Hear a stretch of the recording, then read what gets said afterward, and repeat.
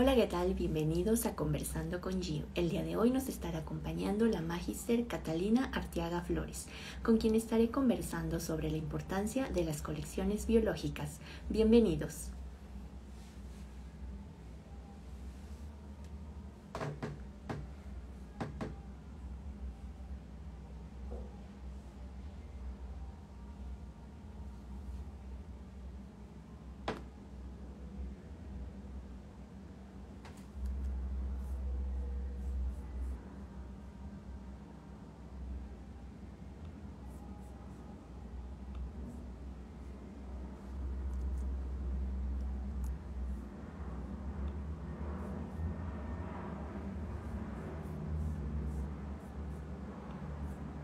Hola, Estamos esperando que se conecte nuestro invitado del día de hoy.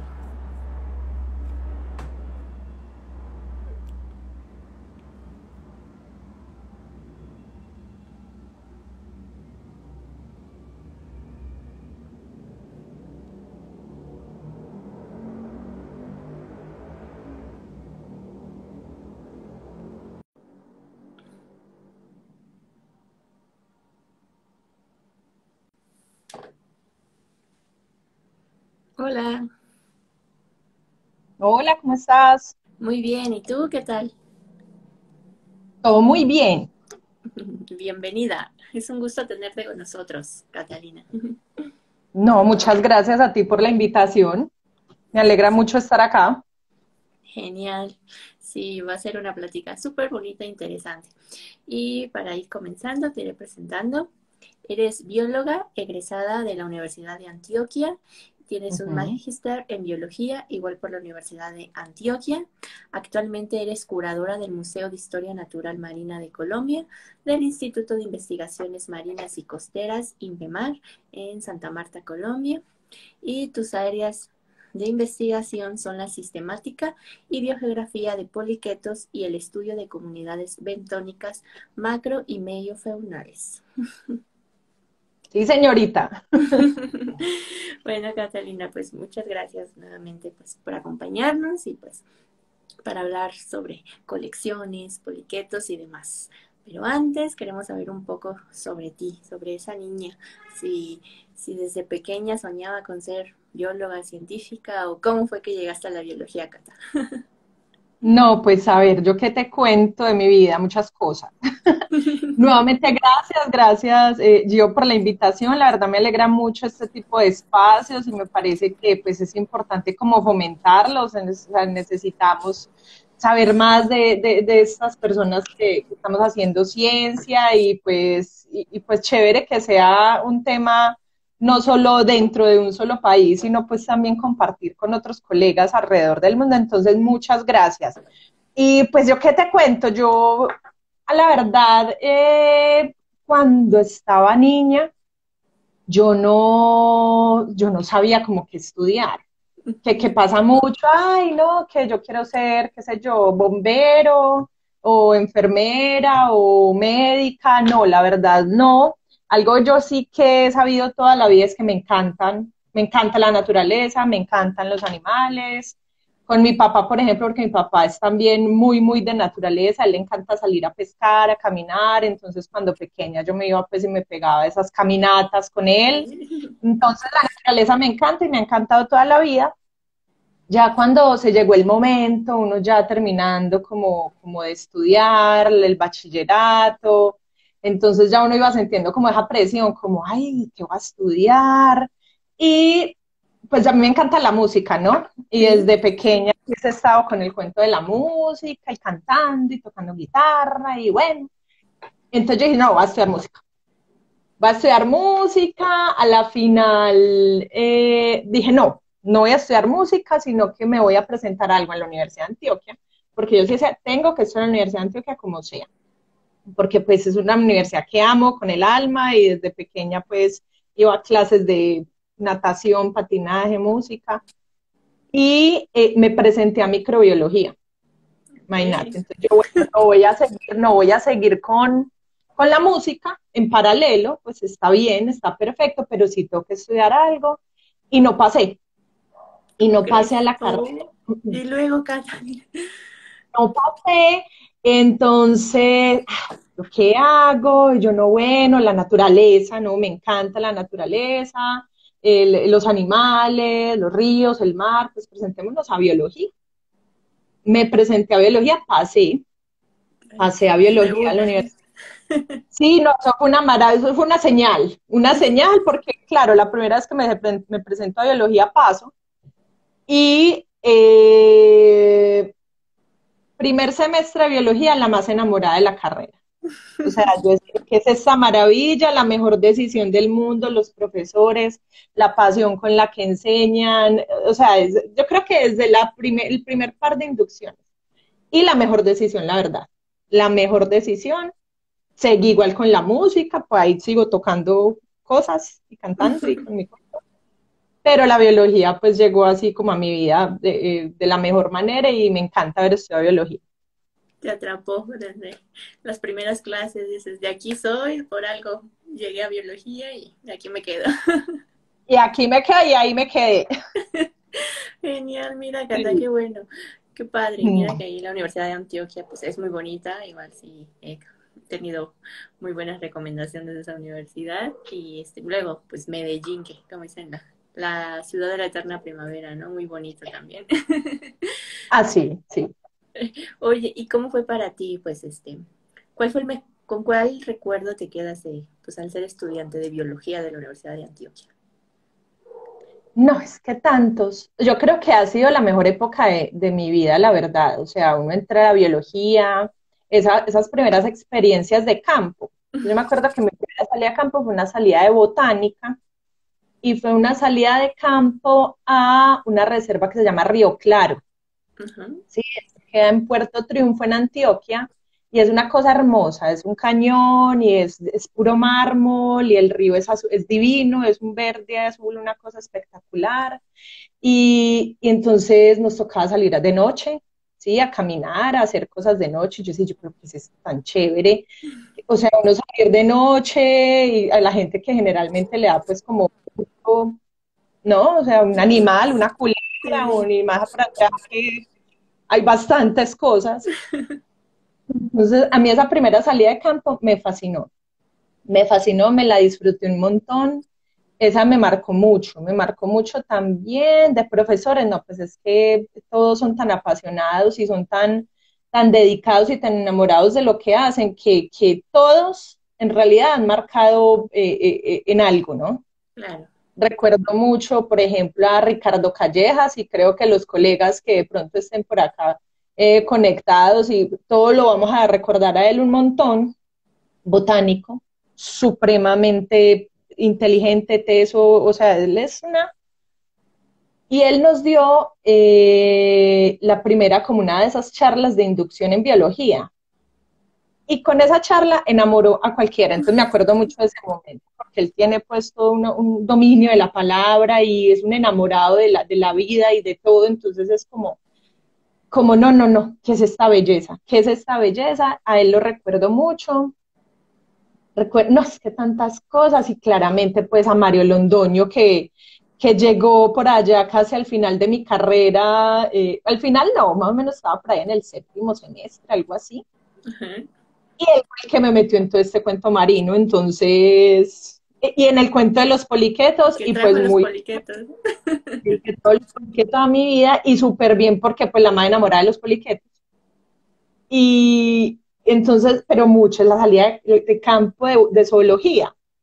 Pues, no, eso fue a Maceo, eso fue en Maceo, Antioquia. Y pues claro, tú, porque nosotros vemos en, en la universidad, bueno, veíamos en esa época eh, zoología general entonces uno veía todos los grupos, todos, todos, invertebrados, vertebrados, todos. Y después como de quinto semestre habían como unas eh, especializaciones. Sí, especializaciones no, unas o sea, no profundizaba en lo que quería. Y en zoología general, entonces como veíamos de todo, entonces había que montar eh, redes, había que salir con binoculares a las 5 de la mañana a avistar aves, había que hacer trabajo en ríos, entonces una salida de mucho trabajo, pero muy, muy, muy importante, la verdad, para mí. Entonces, nada, momentos, es que la carrera para mí fue la, mejor, la mejor, la mejor. Los amigos, no, imagínate. Lo mejor que te pudo haber pasado. Sí, lo mejor. pues, ya nos dijiste, ¿no? ¿Quién, quién fue el culpable de, de, que te enamoraras de los poliquetos? Pero cuéntanos un poco esta historia, cómo fue que llegaste a ellos y pues que pues, te atraparon, este grupo pues, tan bonito. Ah, sí, no. Entonces, imagínate que yo estaba, yo en ese tiempo era monitora de esa materia de zoología general. Eh, los monitores somos como los auxiliares de los profesores, ¿sí? Que dan, que dan esas materias, que en ese caso era Mario Londoño y Lisette Juan, ¿sí? Que llegaron a dar eh, zoología general y laboratorio. Y yo recuerdo que en algún momento salió un proyecto en la universidad en el marco de unas expediciones que se hacían, que se llamaban Expedición Antioquia. Y hubo un proyecto eh, llamado Expedición Estuarina al Golfo de Urabá. Entonces salió ese proyecto y Mario pues estaba más o menos, no tan recién llegado a la universidad, pero llevaba más bien poquito. Y me dijo, Cata, mira, los poliquetos, tal. Yo ya con él había visto una materia o dos, no recuerdo. La verdad, el tema marino en la universidad estaba un poquito como débil en la época. Y entonces, eh, ¿qué te parece si quieres ser mi estudiante para ese proyecto? Lo que tenemos que hacer es pues, trabajar como, como poliquetos asociados a, a, manglar, a raíces de, de mangle, de mangle rojo, de rizófora, de rizófora mangle y entonces un tema muy taxonómico y también, pues, obviamente hay que hacer algunos análisis ecológicos. Y yo, y bueno, ¿y cómo es la cosa? No, unas salidas de campo, vamos a recorrer todo el golfo, vamos a estar como un mes, o, bueno, o sea, ¿yo qué? Yo quise esa belleza, y a uno que le mencionaban campo, y anótenme porque ahí estoy yo. Y bueno, y, entonces, y yo, hágale, de una cuenta conmigo, para esa, y con eso hago mi, mi trabajo de grado, y, no, otra de las mejores decisiones, haber, haberle hecho caso a Mario Londoño para, para estar en ese proyecto. Qué proyecto tan chévere, qué proyecto tan chévere, Mario Londoño genial, o sea, se sentaba conmigo a enseñarme que la patita, que la seta, que, que, las, que la faringe, todo, todo, todo. Eso fue una experiencia muy bonita. Entonces, de ahí quedé con, con el tema de los poliquetos. Eh, y nada, y también la maestría también la hice con poliquetos, ya pues no con todos los poliquetos. Sí, ah, porque imagínate que en expedición eran solo, eran como todos los poliquetos, como todas las familias. Entonces como, uy, eso era y frascos y frascos y, y, aparte que uno sacaba un pedacito de una raíz y esos poliquetos esos se meten y esos en galerías, entonces salían y salían y yo, bueno, entonces, pero entonces la maestría sí fue con una familia, mm. que fue increíble. Entonces ya ahí me fui como acotando un poquito. Mira, pero te, te apasionaste tanto del grupo, ¿no? Que ahí quedaste con los poliquetos, dijiste, de aquí soy. Mucho. Mucho, sí. y si no hubieran sido poliquetos, ¿con qué otro grupo te, te hubiera gustado trabajar? Si no hubieran sido poliquetos, pues a ver, yo te digo, a mí me gustan mucho los mamíferos mucho. De hecho, vi mastozoología cuando estaba en la carrera con Sergio Solari. Él es el profesor de mastozoología en la Universidad de Antioquia, súper buen profesor.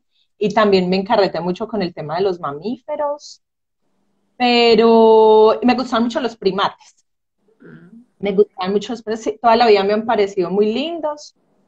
Pero, pero es que definitivamente cuando ya conoce uno el mar, es como que el mar ya me enamoró. O sea, muy lindo los amo, amo, los animales, amo la vida, pero es que ya el mar, yo llego al mar y es, es, otro cuento, es una cosa como, como que te explicara yo, como que yo sabía que era el mar, sí, o sea, fue como la señal, ya, yo me aguantaba esas lanchas y trabajo en lancha todo el día y yo, no, no, o sea, yo, yo estoy para esto, yo estoy para esto y, y me encanta el trabajo de campo en montaña y, y, me fascina, pero el mar para mí es otro cuento, o sea, es como la pasión.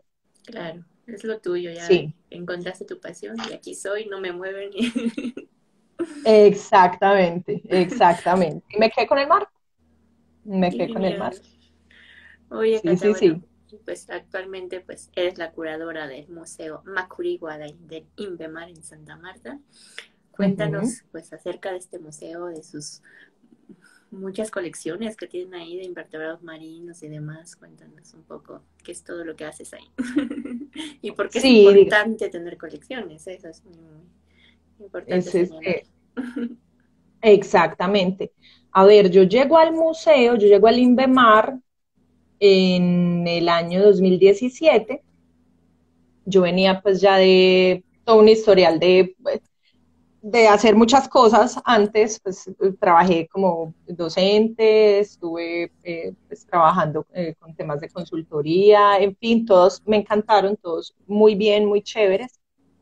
Y yo me había presentado hace mucho tiempo, pues, como para, para ser la curadora, y pues se abrió la oportunidad, y yo de una, yo en el momento me encontré viendo en Bogotá, en Bogotá, feliz, estaba trabajando en ese, en ese tiempo en la ANLA, y eh, como que se reactivó esta convocatoria, y pues que, que si me interesaba continuar como con el proceso, yo dije que sí, cuando me dijeron ya después de todo el proceso que sí, eh, fue como de una.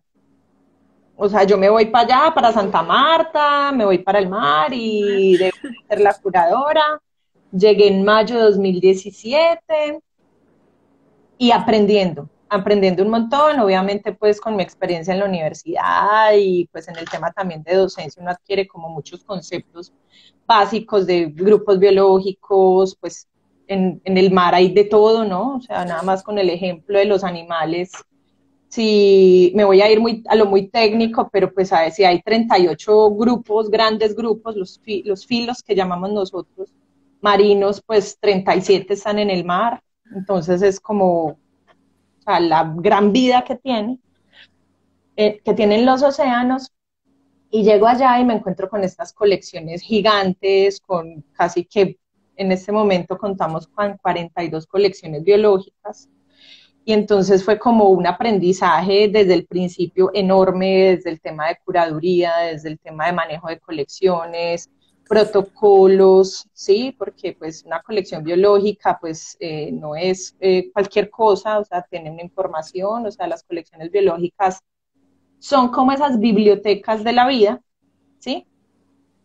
que tienen una cantidad de información asociada y que esa información sirve para un montón de cosas, toma de decisiones, avances en el inventario de biodiversidad del país, del mundo. Entonces, claro, me fui metiendo en este cuento y, la verdad es que es, es, es, muy, muy apasionante, es muy, muy apasionante. Eh, cuando yo llegué en el 2017 habían como 37 colecciones, en este momento tenemos 42. Eh, aumentó y, no, y un aumento grande porque hace unos 10 años habían 20, eh, no recuerdo el número exacto, pero con una cantidad de expediciones que ha hecho el INVEMAR a, diferentes partes, eh, a explorar mares profundos, sí, esas colecciones aumentaron. Y eh, las colecciones que tenemos en el museo nosotros las definimos por filum en su, en su, en su mayoría, o por grupo biológico. Entonces tenemos las colecciones de, de nidarios, tenemos las colecciones de quinodermos, las de anélidos, moluscos, ¿sí? Entonces eso por, por filum, ¿no?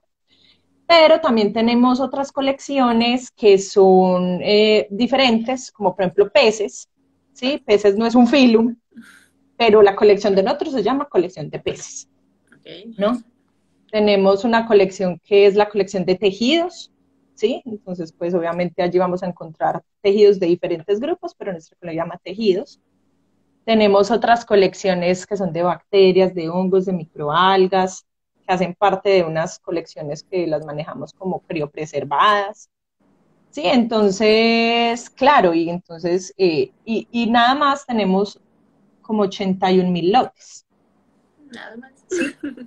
Entonces, claro, tenemos más de 81 mil lotes y un lote, pues nosotros lo definimos como un frasquito, una bolsa o algo así que tiene uno o muchos especímenes. Entonces, pues obviamente es mucho el material, mucha la información que tenemos en el, en el museo.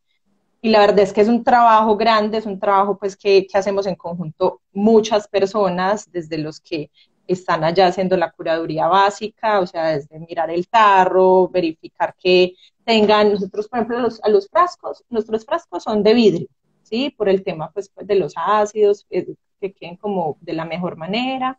Con su tapa plástica y le ponemos como un plástico entre la tapa y el vidrio para que no se evapore el alcohol en el caso de los que tenemos como, como en húmedo, como en, como en alcohol.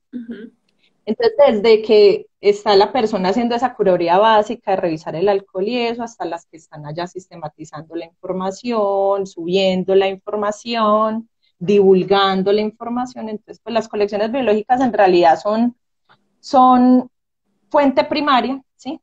De información en biodiversidad para muchos fines, de hecho, ahorita con el contexto pues de, la pandemia y demás, o sea, la cantidad de cosas que uno puede hacer con una colección, o sea, especímenes que están allá preservados, uno puede sacarlos, hacer, qué sé yo, secuenciación, hacer otro, una cantidad de investigaciones. Por eso muchos lo llaman tesoros como de la biodiversidad. Aparte que te van a contar la historia de la biodiversidad de X área, ¿no? Entonces, pues, ¿cómo no me voy a enamorar con el tema? Sí, ahí, por supuesto, en, el, en estas colecciones del INVEMAR que, que, que ya llevan unos años, bastantes, pues desde los 50 tenemos material allá recolectado. Ok, bastante tiempo. Bastante tiempo y pues la verdad es que sí son como las colecciones, digamos, en temas marinos más, más importantes del país y pues un orgullo para mí obviamente estar ahí, ahí en, en el museo, ¿no? Y en el instituto claro, estar a cargo de esa gran colección que tiene el país, que además, como tú dices, es un gran tesoro y que también pues ha ayudado a muchos este, científicos, estudiantes y demás. Incluso pues, te platicaba, tuve la oportunidad de estar en ese museo, lo cual recomiendo mucho que, que, tenga, que vayan a visitar sus colecciones, son muy bellas, muy completas y como bien dices, o sea, ayuda a cualquier tipo de estudio sí, es increíble. Y qué padre, Cata, que estés ahí, como que liderando ese gran equipo que, que son todos ustedes, ¿no? Y que pues es un gran trabajo, como tú dices, o sea, mantener esas 42 colecciones actualizadas y estar revisando, ¿no? Como que todos los frascos tengan alcohol y demás, o sea, sí conlleva un gran esfuerzo de, de todo el equipo que está detrás. Este, oye, y este, y cualquiera puede tener, digamos, acceso a ese material, eh, cómo pueden ir a hacer, no sé, estancias o pedir préstamos y demás. ¿Nos puedes platicar un poco sobre esto? Sí, claro, digamos que en el museo tenemos pues diferentes servicios, obviamente, porque pues este material está allí eh, eh, eh, también para eso, para que las personas lo consulten, para que las personas lo, lo revisen. Y pues sí tenemos como, como varios procedimientos, por ejemplo, depósitos, entonces, qué sé yo, tal persona, pues en el marco de su trabajo de grado, de su tesis de maestría o de doctorado, quiere hacer un depósito de su material, quiere que esté bien cuidado, bien custodiado, que, que, esté disponible, ¿no? Porque una vez entra el material al museo, es, es pues ya como de, libre acceso, ¿sí? Eh, entonces lo puede hacer, entonces eh, tenemos ahí como un servicio de depósito de material. Obviamente pues hay una normativa eh, asociada a todo este tema de las colecciones que es importante, pues por ejemplo el tema de la, de la obtención legal de los especímenes, ¿sí? Eso, no es que cualquiera que se encontró por ahí, sí, o que le dio por salir a recolectar, no, o sea, hay, hay un tema acá legal detrás y pues es importante que la gente lo sepa y que pues obviamente nosotros nos regimos bajo esa normativa. Y eh, eso por, por, ese, por ese lado, por el depósito de material, eh, también el museo presta el servicio de consulta, entonces por ejemplo tú que estuviste en el, en el, en el, en el museo que me contaste, ¿hace cuánto? Hace como cinco años. Como cinco años.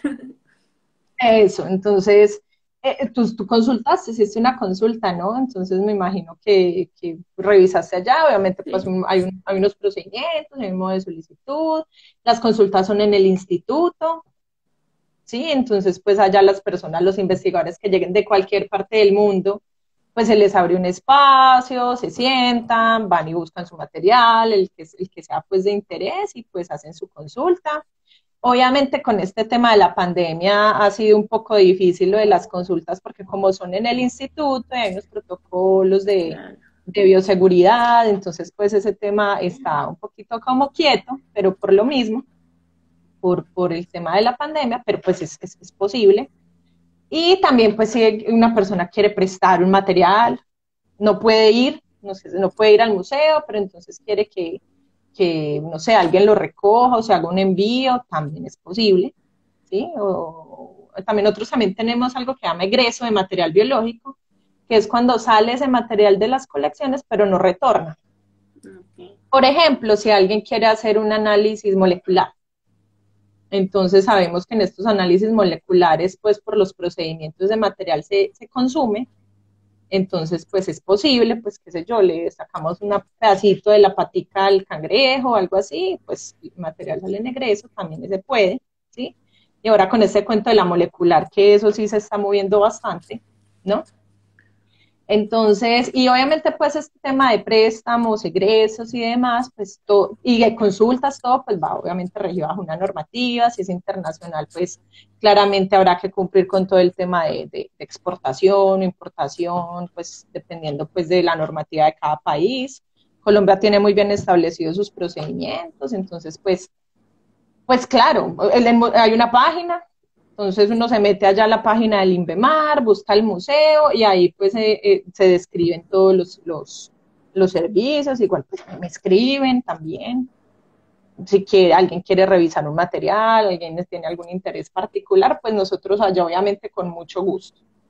Sí, entonces pues así es que, que se va, que se va moviendo como ese material pues que es tan importante y que no hay que ya como Sí, hay muchas cosas, por ejemplo, el GIO que las tenemos a nivel de clase, de orden. Claro, que algo falta, ¿no? Como identificar, saber que hay muchos nuevos registros, nuevas especies, y como tú dices, a veces exacto, exacto.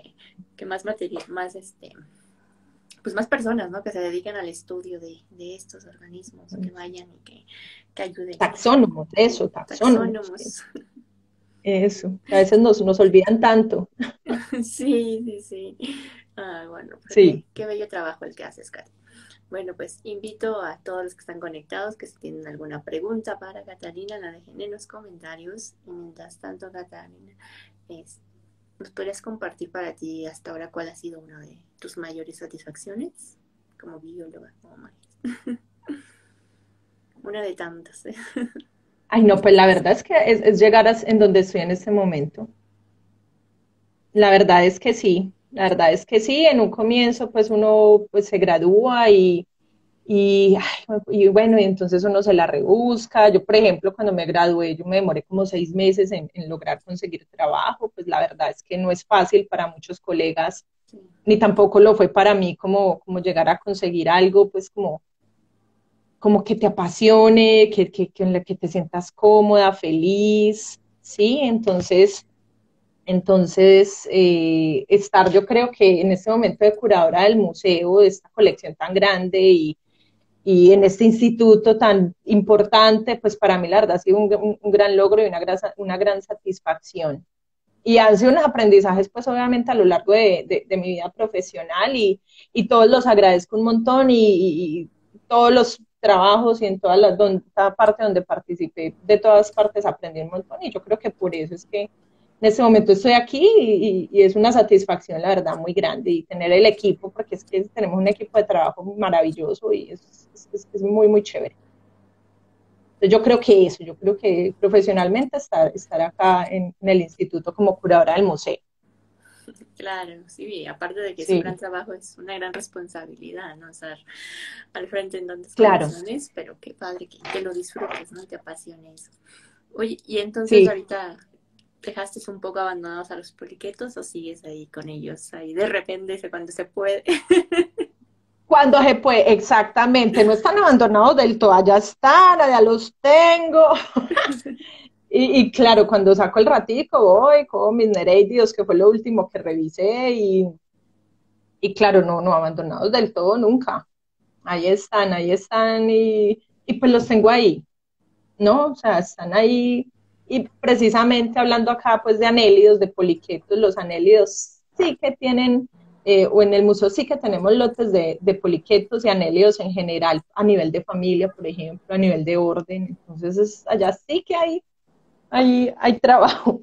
Mario me dice algo y es que cuando él va al instituto, cuando él ha consultado las colecciones del museo, que él se siente como un niño chiquito, como en un, en un, como en un parque de diversiones que no sabe por dónde empezar. porque pues la colección de anélidos es grandota y entonces él es como, como, y, así es la verdad. Entonces, pues ahí los tengo, ahí están los poliquetos, no los he abandonado del todo, pues entonces cada que tengo como una oportunidad voy allá y, y los miro. Qué bueno que, que, ahí están, ahí siguen vigentes los, los poliquetos. Oye, ¿y tienes alguna especie favorita o, alguna clase, familia que dices, ay, esa es la que llevo en mi corazón por siempre? Ay, sí, pues, pues los nereididos. Los nereididos a mí me encantan.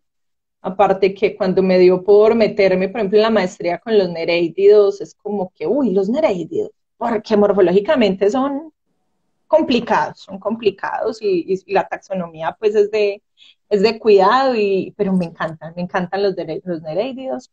Y una especie así de poliqueto que yo diga, pues que hay una muy emblemática que se llama, bueno, en, en, inglés le dicen gusano bovid, bovid worm. Mm, en este momento me escapa ese unice, bueno, el género es unice, que pues es maravilloso porque es un poliqueto gigante un poliqueto gigante y Eunice afroditois, se llama. Ya me vino ahí como a la mente. Y en el museo tenemos, por ejemplo, unos así en unos frascos, eso es un gusano gigante, gigante, gigante.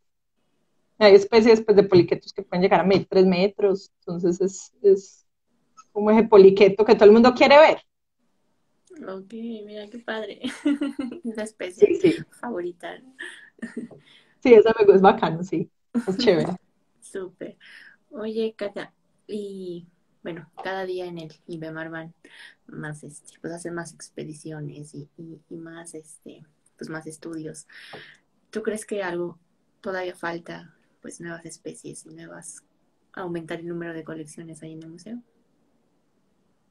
Sí, claramente, claramente, nada más en general, o sea, en general el estudio de la biodiversidad marina creo que, todavía le falta y mucho. Pues nosotros tenemos eh, en Colombia, pues en realidad el estudio de la vida marina es, es, relativamente reciente. Pues las primeras grandes expediciones comenzaron por allá como por los 50, 60, entonces tenemos como 60 años de historia de, del estudio de nuestra biodiversidad marina y pues Obviamente en tierra, pues comenzaron con estas expediciones botánicas de Mutis por allá hace más de 200 años, entonces la verdad todavía somos unos bebés, todavía somos unos bebés en, en cuanto, bebés no, bueno, pues, todavía nos falta mucho, todavía nos faltan, nos faltan muchas especies por describir, nos faltan muchos registros también por, por registrar, valga, valga la redundancia, pero falta mucho, falta mucho y pues pero pues ahí vamos, ¿no? Pues ahorita ponía el ejemplo de, los animales, 38 nada más grupos eh, de animales hay, pues nosotros en el museo tendremos, tenemos muchos, tenemos como 20, 22. Pero todavía nos faltan bastantes y de los más raros últimos que hemos encontrado en el medio ventos, por ejemplo, eh, quinorrincos. Y esos grupos chiquiticos que ah, tardígrados, que allá están, allá están, entonces cada que se hacen más estudios, pues se van descubriendo cosas nuevas, se van descubriendo cosas nuevas y pues allá mismo en el museo, si uno va y coge lo que está familia, lo que está orden, lo que está clase, con toda seguridad va uno a ampliar un montón ese listado de especies. Sí. Oye, y en la cuestión de de esfuerzo, digamos, este, la parte de Caribe y pues también tienen Pacífico como están, o sea, falta más, eh, no sé. Falta mucho en Pacífico, sí. Pacífico, ¿no?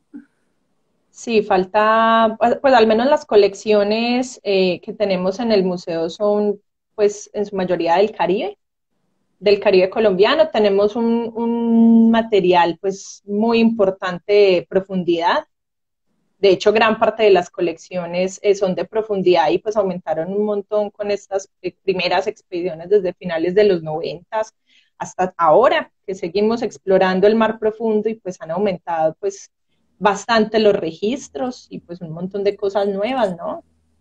Hace como tres años tuvimos la oportunidad de pues, llegar como a la mayor profundidad, eh, que fueron 4.200 metros, y allá está pues el material en el museo de, esa profundidad.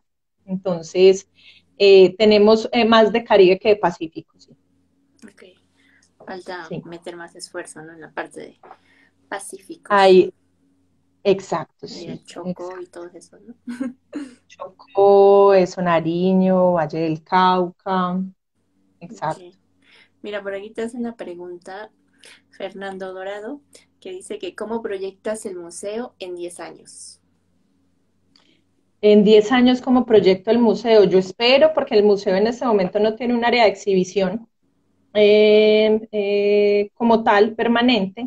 Yo espero que en 10 años el museo tenga su buena área de exhibición y, y tenga muy, muy fortalecido todo este tema de educación, divulgación, ¿sí?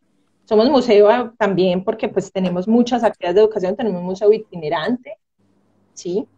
Pero, pero yo sí quiero ver como esa área de exhibición y yo espero que de acá a 10 años ya esté full el área de exhibición del museo y obviamente con unas colecciones más fortalecidas. O sea, yo me sueño un museo con curador para cada grupo, con todos los recursos del mundo para que estén allá los curadores sentados identificando y publicando nuevas especies y con una parte de, educación bien chévere para todo tipo de público. Entonces, ese, ese, ese sería como, como, como la idea, ¿no?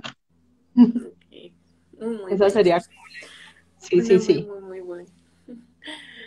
Oye, Cata, y pues como todo buena bióloga, y como pues a la mayoría, ¿no? Nos, nos ha tocado a veces pues frenar un poco proyectos, ya sabes, por eh, fideicomisos, dinero y demás, pero y pues también nos ha tocado, ¿no? Enfrentar distintos retos en, la vida, ¿no? Para ti, ¿cuál ha sido como que el mayor reto que te ha tocado enfrentar como bióloga? En mi, en mi carrera profesional, retos. La verdad, trabajar en el mar con cosas marinas. Para mí eh, no fue fácil, empezando porque pues en la universidad eh, pues en realidad una línea marina no estaba muy clara, entonces eh, eh, fue difícil, fue difícil y desde Medellín fue muy difícil, pues yo soy de Medellín. Tener lejos el Exacto, y pues yo me dije, yo, y yo sigo, pues yo soy bióloga y yo sigo con el mar y sigo con el mar y, y, lo logré. Yo creo que eso, eso ha sido como un, un reto importante, pues como, yo quería mar y pues me quedé en el mar y estoy en el mar. Exacto. y no fue fácil. No fue fácil, pero lo lograste, Cata. Sí, sí. Oye, y a pesar de todos estos retos, eso de tener el mar pues lejos y pues demás, ¿no? Que se vayan presentando en tu vida, ¿tú volverías a estudiar biología? A pesar de Ay, claro, claro que, pero mejor dicho, o sea, no tengo que pensarlo dos veces, por supuesto. La mejor carrera que, o sea, es una cosa de pasión, es los, amigos, la, la, que uno, ¿qué hice en biología? O sea, no, no, no los tengo, o sea, es, es, una cosa increíble y, o sea, el hecho de, de conocer la vida, o sea, es, es, todas las formas, tener experiencias de campo, yo por supuesto volveré a estudiar biología, por supuesto y por supuesto volvería a meterme por el mar. ok, súper, súper. Sí. Oye, ¿y, quiénes han sido para ti tu, inspiración en la biología? Me imagino que la lista es enorme, pero no sé, algo que nos quieras compartir. Mi inspiración en la biología, ay, pues tanto, ¿no? Es que uno me pone a pensar biología, Darwin. Y sí, por supuesto, Wallace. Sí el mismo Lamar, que, que, tan duro le dieron, pero sin él no, o sea, es, o sea, tantos, pero me voy a ir un poquito por Poliquetos y me quedé muy triste porque no lo alcancé a conocer y fue Cristian Focal, que es, lo llamábamos como el padre de los Poliquetos, pues lastimosamente él falleció creo que en el 2015, a comienzos de 2015 yo, pues, él tenía, tiene un libro muy famoso que es un libro rosadito con descripciones de todas las familias y, entonces, y yo, y yo me quedé con ganas de conocerlo a él. Eh, en el 2015 hubo un simposio en Monterrey, en México, eh, al cual él iba a asistir, y entonces yo fui con una compañera. Cuando yo me enteré y yo, mira, que va a ir Cristian, no sé qué, con otra amiga también van, eh, nos emocionamos y pues lastimosamente eh, falleció. Ah, y me quedé muy triste, pero pues mi total admiración para él. Toda la cantidad de especies que, que escribió, la cantidad de, de poliquetólogos que formó, entonces me quedo con Cristian. Ok, qué pena que ya no tuviste esa oportunidad, ¿no? De, conocerlo y por qué no, hasta poder haber colaborado con él, ¿no? O sea, eso con él. el sueño, ¿no? Bueno, pero en el mundo de los poliguetos hay muchos otros investigadores, ¿no? Que me imagino que también te gustaría colaborar con ellos en algún futuro, o incluso hay que colaboraste con ellos, no sé, ¿tienes algunos en mente? Sí, con muchos. Los poliquetólogos son los más de chéveres. Y tenemos una comunidad muy bonita, la verdad, y, somos muy unidos. Leslie Harris, del Museo de Los Ángeles, la adoro. Ella es como la mamá de los poliquetólogos y es excelente taxónoma, excelente. Y ella me ha enseñado un montón, mucho, mucho, mucho, sobre poliquetos. El doctor Jesús Ángel de León, él está allá en la Universidad de Nuevo León, en México, en Monterrey. Allá, él, de hecho fue uno de mis asesores de, maestría. Y mi total respeto, admiración y agradecimiento porque él es muy, muy buen poliquetólogo, trabaja con herédidos. Eh, Kirk Fitzhugh, también del Museo de Los Ángeles, de él aprendí un montón. No, muchos. Eh, eh, se me escapa el nombre, Ken Halanik, también de Alabama, a él lo tuve la, tuve la oportunidad de conocerlo, hubo un curso de anelios en, el Smithsonian en Panamá. Entonces, pues allá estuvo Leslie, estuvo Ken, estuvo Anya Schultz del Texas, estuvo Michael Boyle, que él trabaja con sipuncúlidos, entonces, pues, y, y todo ese equipo de poliquetólogos, de estudiantes que llegamos, entonces es es, es muy chévere, el, el, grupo de poliquetólogos es muy chévere y, he conocido grandes, grandes, grandes poliquetólogos, de los cuales he aprendido un montón y quisiera seguir trabajando con, con ellos. Y lo vas a hacer, Cata, porque sé que eres muy movida y, y, además de eso, pues no, no has abandonado a los poliquetos. Y mira que ahí tienes la colección y tienes mucho material, o sea. Exacto, sí. Así como tú, igual otros pueden tener la oportunidad, ¿no? De ir pues a ayudarte a, identificar ese, ese material, ya sea poliquetos o los demás grupos que tienen ahí en, el museo. Claro que sí. Eh, te preguntan que si en el museo tienen colecciones de especies nuevas y cuál es la importancia de este material.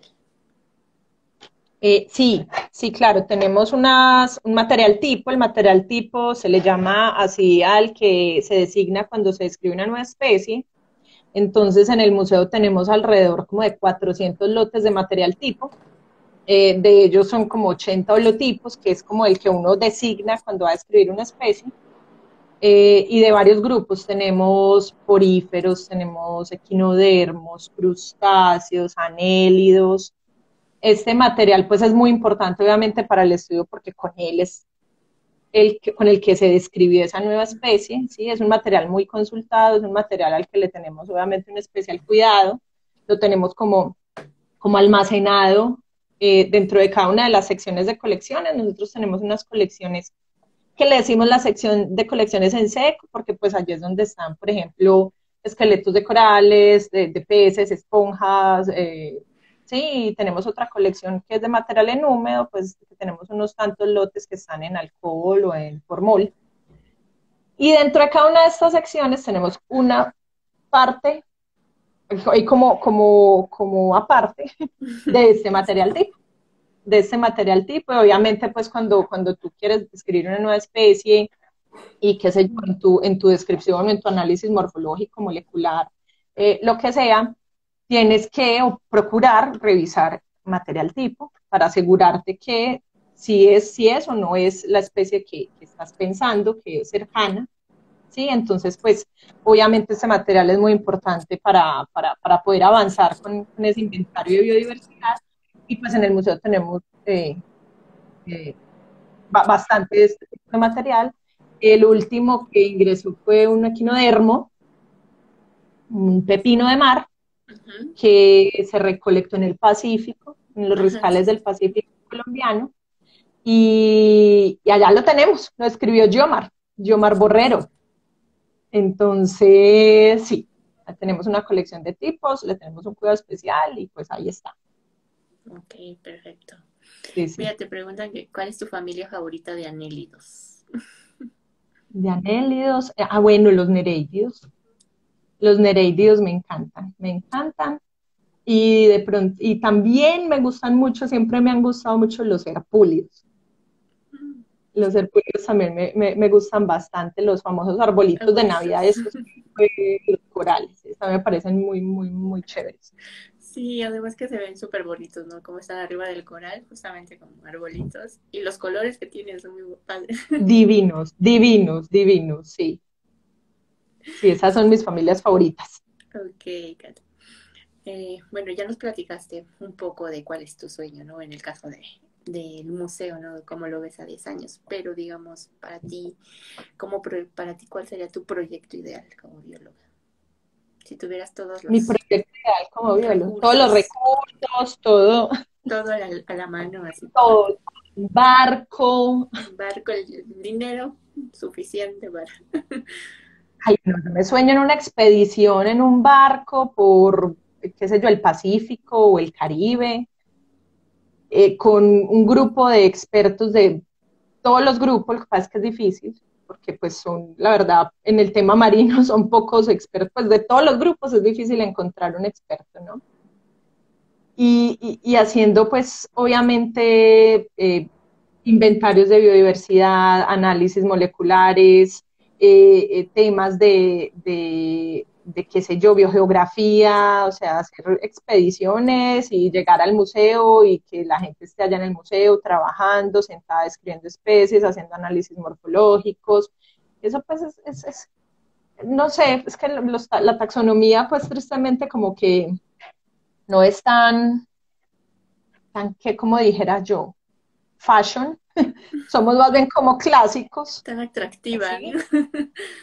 entonces un, proyecto full sistemática con análisis morfológicos, moleculares, hacer algo así como taxonomía integrativa me parecería súper importante, obviamente, para fortalecer las colecciones, ¿no? Mejor dicho, duplicar, o sea, hacer un inventario de biodiversidad enorme. Pues que, claro, el estudio en el mar no es barato, no es para nada económico y más cuando hablamos de embarcaciones y buceos, entonces, pero pues sería muy, muy chévere. Sí, ahí nos invitas, Cata, cuando tengas ese proyecto, por favor. Mira, te pregunta Fernando, que qué especie consideras importante tener en una colección de historia ah, ¿Qué especie consideras importante tener en una colección de historia natural? ¿Qué especie es importante tener una colección de historia natural? Está como difícil la pregunta, pero pues en realidad todas las especies que están en las colecciones son valiosas, ¿no? Todas las colecciones, pues hablamos a veces de esas especies emblemáticas que sí son muy importantes tenerlas. Y más, digamos, para estos temas de educación, pues que, qué sé yo, la estrella de mar eh, típica, pues hay que tenerla, ¿no? hay que tenerla, pero precisamente para lo mismo, para enseñar, ¿sí? Para enseñarla. Qué sé yo, unos, unos huesos de, ballena, ¿sí? Hablando de, material biológico, pero en realidad, pues, todas las especies son importantísimo, importantísimas tenerlas. Me, me, enfoco como por esas emblemáticas que hay que tenerlas sí o sí, sí o sí, y que muchas veces pasa que nosotros pues vamos a mirar nuestras colecciones y qué sé yo, ay, no tenemos la, una estrella de mar, ¿cómo no vamos a tener una estrella de mar, no? Pues la típica, la, entonces pues hay que tenerla, hay que tenerla, pero, pero nada, lo importante es uno poder completar ese inventario y al menos tener un registro de, cada especie, ¿no? Que hemos descrito, entonces, eh, no sé si responde la pregunta. Bueno, ya nos dirá Fer ahorita, si la respuesta a tu pregunta. Oye, Kate, como buena bióloga, me imagino que tienes un montón de anécdotas que te pasaron en campo o que a lo mejor todavía te siguen pasando ahora en el museo. ¿Alguna que nos quieras compartir? a ver, anécdotas. Ah, yo me voy como para Urabá. Me voy para Urabá, eh, Expedición Estuarina, de la que hablaba hace un rato. La verdad es que recuerdo mucho, mucho, mucho esa salida de campo porque, pues claro, yo como chiquita todavía en la biología, como que toda inexperta, y llego yo a la primera salida de campo de ese proyecto, que fue ese proyecto, eh, se desarrolló entre tres instituciones, la Universidad Nacional, la Universidad FIT y la Universidad de Antioquia. Entonces, de cada una de las instituciones iban como los profesores que dominaban ciertos temas. Entonces, la, nacional, obviamente, pues con todo el tema de oceanografía eh, y, el tema, pues, de manglares, el EAFIT con todo su tema de, geomorfología de costas, la Antioquia con el tema de biodiversidad. Entonces, llego yo como toda chiquita y veo esa cantidad de gente súper, súper, súper reconocida en lo que hacen, y con ellos pues estuvimos como 20, más de 20 días recorriendo todo el Golfo de Urabá, desde frontera con Panamá hasta terminando pues la frontera de Antioquia con el, con el departamento de Córdoba. Entonces para mí, yo recuerdo mucho esa salida porque era pues obviamente que 10 horas en, en el mar, pues en la lancha, y llegaba uno y, y compartiendo con estas personas y pues hice grandes amigos allí, entonces pues esa, esa, esa salida la recuerdo mucho iba con mucho susto porque pues yo primera salía en el mar. Y todo el mundo te vas a marear y entonces, eh, sí, te, entonces no coma mucho. Y, y para la final no fue más susto como con el que fui. Y fue más como una experiencia, sí. Entonces recuerdo mucho, mucho, mucho esa salida con mucho cariño. Aprendiste. Ese trabajo de campo, sí. Aprendí mucho, mucho, mucho, mucho. Mm, sí. Y más con esas personas, ¿no? Con todos los que los acompañaron, ¿no? Que eran como los rockstar, ¿no? En ese momento. Como eso, algo así, algo así, como los rockstar, entonces, pues, pues imagínate los temas, geomorfología de costas, oceanografía, y pues el, el tema de manglares, los expertos en composición, en el tema de parcelas, en moluscos, en, anélidos, entonces, pues, eh, sí, recuerdo esa salida con mucho cariño esa primera salida de Expedición Estuarina. Mira, aquí nos pregunta a mi cuervo que ¿de dónde tiene más vacíos en la colección del IBEMAR? ¿Del Pacífico o del Caribe? Saludos. Eh, sí, eh, del, del, del, Pacífico. Del Pacífico, en realidad, la colección tiene mucho material del Caribe. Mucho de ese material es de, es de profundidad, por ahí el 50%, 40% tal vez es de profundidad, pero sí nos falta más, ah, más del Pacífico. Más del Hay un buen material de Pacífico Norte, de todos esos riscales de Pacífico Norte, de un proyecto que hubo hace unos cinco años, cuatro años, y pues hay muy buen material de, del Pacífico Norte. Y pues claro, tenemos que fortalecernos en el material del Pacífico. Ok. Igual te preguntan que, ¿y qué zona es más diversa en gusanos marinos en Colombia? Hmm. Está difícil esa pregunta, pero yo creo que de pronto, de pronto de la que tenemos más información es del Caribe Norte, colombiano. Sí, o sea, del, del, del la desembocadura del río Magdalena hacia arriba. Tal vez, sí. Sí. Y justamente hablando de estos lugares en Colombia, eh, ¿tú ya tienes, tuviste la oportunidad de conocer Caribe, Pacífico o hay algún lugar que hay de tu país que te falta por conocer y mueres por ir a hacer? de, de, mar, de mar, de mar, ¿sí? Porque en el Pacífico, sí, he tenido la oportunidad de ir a Caribe, he tenido la oportunidad de ir a Pacífico, el Pacífico solo conozco el Chocó, me falta conocer más el, el, la parte sur, del Pacífico colombiano, Valle del Cauca, en Nariño, más como esa parte. Y del norte, ir al norte, norte, norte a Punta Gallinas, no he ido. No he ido. Sí, yo, yo más me la oportunidad de conocer el Caribe y por, ya sabes, Tel y demás, he visto que, bueno, en la parte del Pacífico hay una playa, no sé, un lugar que se llama Nuki, algo así que se ve que es muy bonito. Y Nuki. Oh, algún día espero. Para allá voy pronto. Oh, mira. Allá pronto, sí, claro, y, es, muy famoso porque allá llegan las ballenas, entonces en este momento estamos en época de ballenas, entonces pues hay que ir, hay que ir por esta época también Oye, ¿y de lugares en el mundo en los que dices, tengo que ir también? Explorar como buena bióloga marina? Yo creo que, bueno, Belice, me gustaría mucho ir a Belice y pues Australia. Australia no conozco. Yo conozco el, Caribe, pues eh, Yucatán, y pues me pareció una cosa increíble. Yo creo que un poquito más hacia el sur Belice también debe ser increíble. Y, eh, y, Australia, sí, yo creo que todo biólogo que nos guste el mar queremos ir a Australia. Sí. a la barrera. Y justamente estamos con un invitado que ir a Australia para cualquier biólogo es como el sueño americano, pero es el sueño de cualquier biólogo. Australia o las Galápagos, creo. Ah, no, y Galápagos, por supuesto. Claro que sí. sí. por supuesto, Galápagos. Malpelo, ¿no? Que también es como un santuario, ¿no? Para tiburones. Es un santuario de flora y fauna, exacto. Malpelo, tenemos Malpelo, que es, bueno, una isla oceánica, y tenemos Gorgona. Gorgona, que ya es una isla continental también, pues, mm, súper diversa, súper diversa. Tiene un montón, igual que, que acá nosotros en México, igual ustedes allá tienen lugares muy bonitos. Exactamente. Sí, Colombia es una, una belleza. ¿Para qué? Acá encuentro uno de todos los ecosistemas, es, es una maravilla. Sí, sí, sí. Igual, bueno, un lugar que no es marino, pero también he visto que es muy bonito. Es el desierto de la Tatacoa, ¿no? Que tienen ahí. Sí, hermoso, hermoso. Tiene una parte que le dicen la parte gris, otra parte que es como un color más, un tono más naranja es muy lindo, es un poquito más hacia el sur en Colombia.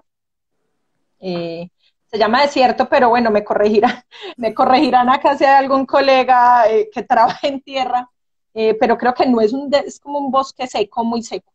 Okay. Un ecosistema seco, muy seco, lo que pasa es que le llaman desierto de la Tatacoa, y pues desiertos, acá está en La Guajira, La Guajira. La Guajira. Ya tenemos un desierto grande, pero es divino, es divino, tienes que venir por favor, yo encantada. muy linda, sí. Sí, de ir nuevamente al museo y poder explorar todos estos lugares tan divinos que tienen. Eh, igual, pues, cualquiera que esté interesado, ¿no? En ir, bueno, cuando se pueda, obviamente, con más facilidad, porque esto de la pandemia, pues, nos ha detenido.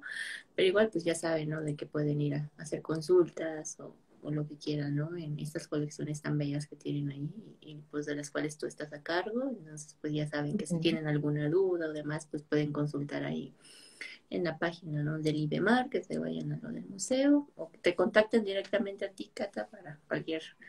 Claro que sí, Catalina, catalina.arteaga, arroba.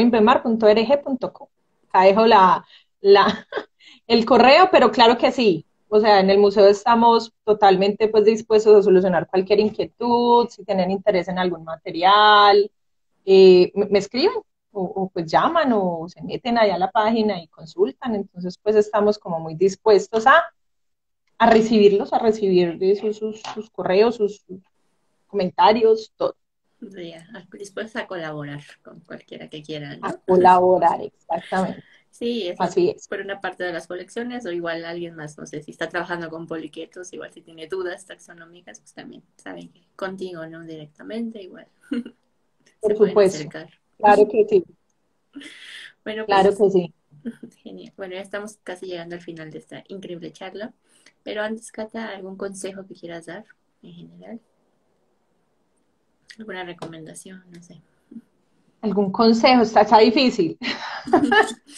No, tantos consejos, tantos consejos, pero no sé si suena trillado, pero si quieren hacer algo, háganlo. No lo. Uno, a veces se queda como en una zona de confort y le da miedo, y si les gusta el mar, háganle al mar, si les gusta la música, háganle a la música. Entonces, sí, es importante hacerlo bien, hacerlo a conciencia, hacerlo con, todo el gusto, y ese sería mi consejo hacerlas, hacerlas bien, hacerlas bien y, y con mucho cariño, claro que sí. Así es, o sea, como bien dice, salir un poco, ¿no? No tener miedo a salir de esa zona de confort, ¿no? Y, pues sí.